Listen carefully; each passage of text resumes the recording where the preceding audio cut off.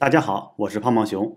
本期视频开始，我们新开一个软件的系列课程 ——Motion 零基础系列教程。从我开始更新 Final Cut Pro 系列教程，就一直有小伙伴在评论区和学习群里催更 Motion 教程。现在 Final Cut Pro 的系列课程已经更新到第二版了，我也终于有时间和精力开始新的系列课程了。先和还不熟悉 Motion 的朋友介绍一下，和 Final Cut Pro 一样，Motion 也是苹果自家出品的专业视频制作工具。是一款方便学习、快速上手的视频动效软件，同样只能安装在苹果系统上使用。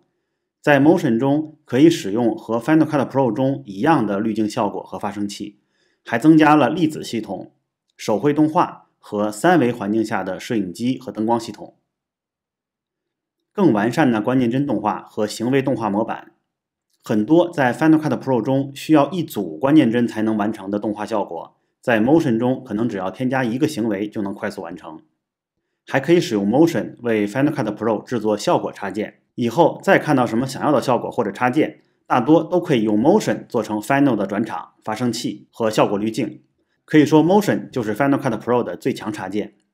Motion 的下载和安装方法与 Final 一样，具体可以看我 Final Cut Pro 系列课程的第一期视频，详细的演示了如何获得和安装软件的过程。快准备好软件，从下个视频开始，我们一起学习 Motion 吧。